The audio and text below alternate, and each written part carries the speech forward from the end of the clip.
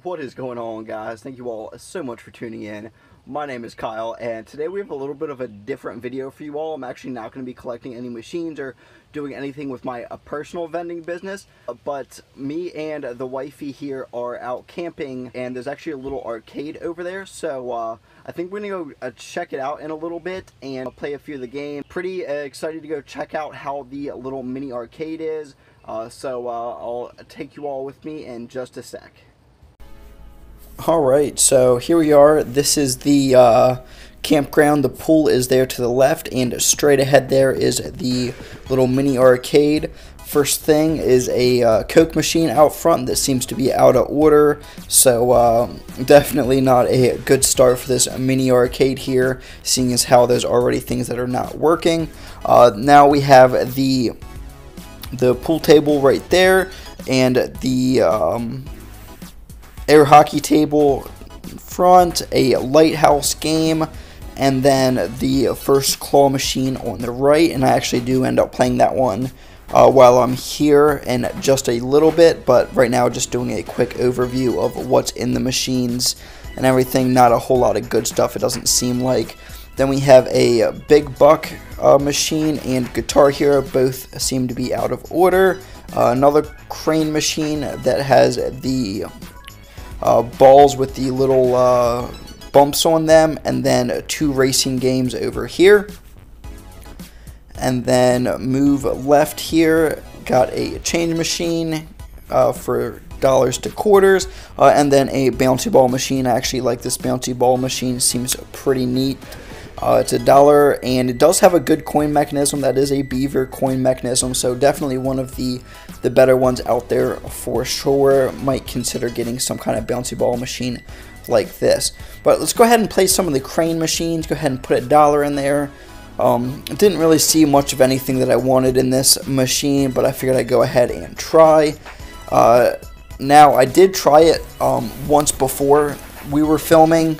Uh, and I did actually win uh, something on the very first try, a little pack of candy. Uh, but you can see I didn't get anything on that one. And I have one more play for my dollar. Go ahead and drop it down.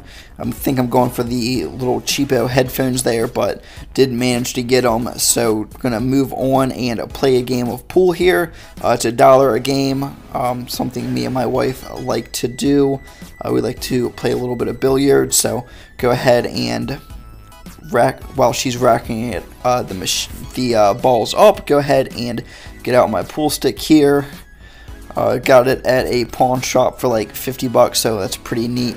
Uh, and then over here is the other claw machine that you guys saw just a minute ago. Uh, it is a dollar per play. I think it's uh, play to win until you win or guaranteed win.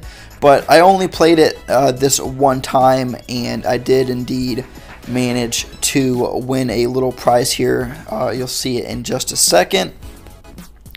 There we go. Got that little yellow ball.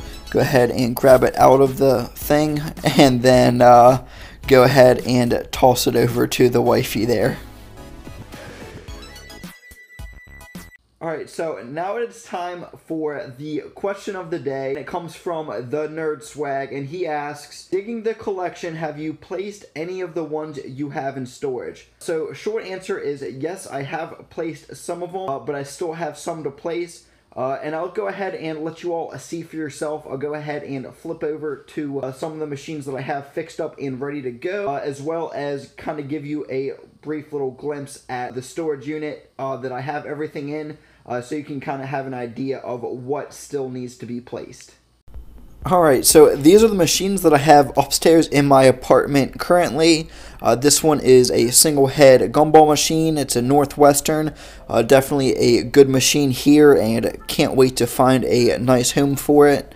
Uh, a little bit of a spoiler, I actually do have a place uh, that I'll be telling you about in a few videos. I'm actually a little bit ahead on filming. That's the another Vendesign and this is a uh, um, a shooting hoops machine. Big fan of this one here.